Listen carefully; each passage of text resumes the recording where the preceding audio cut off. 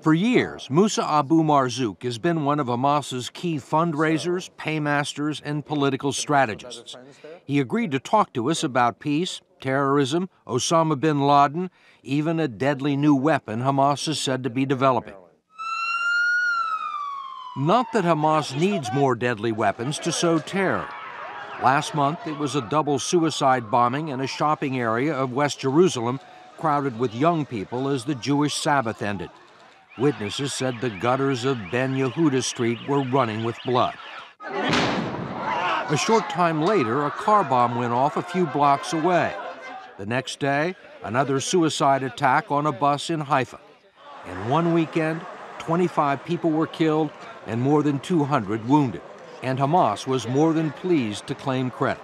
What do you think you accomplish by setting off the suicide bombs? We want the enemy to withdraw from the occupied territories so that Palestinians can live freely, like other people. Negotiations didn't work, the international community didn't help, so the only way we had was to let the occupying force pay the price of the occupation. Another reason for Hamas's current popularity is its refusal to negotiate with Israel and its ability to inflict suffering on Israelis. And Marzouk made it clear that Hamas has plans to improve its military capabilities. It's been reported that Hamas is working on a missile, developing a missile. Okay. Developing a missile. What's the problem? With a range of about six miles. Okay. True? Where is the problem? Is that true? Yes, true. But where is the problem? How would you use it? Why you didn't ask Israel? How can they use uh, all of their uh, weapons right now. How would you use it? Uh, we want to resist the occupation with these missiles. Israelis are entering houses with tanks to destroy and to kill people. 73 houses were destroyed and people couldn't resist. Are weapons only allowed for Israel and not the Palestinians? To see how missiles in the hands of Hamas would transform the battlefield here, all you have to do is go to the nearest hilltop. This is the West Bank. Just six miles off in the distance lies Jerusalem.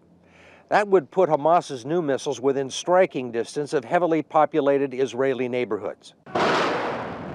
The Israelis routinely fire rockets into heavily populated Palestinian neighborhoods like this one in Ramallah in response to sniper attacks. Before long, Hamas may be able to return that fire, escalating the battle.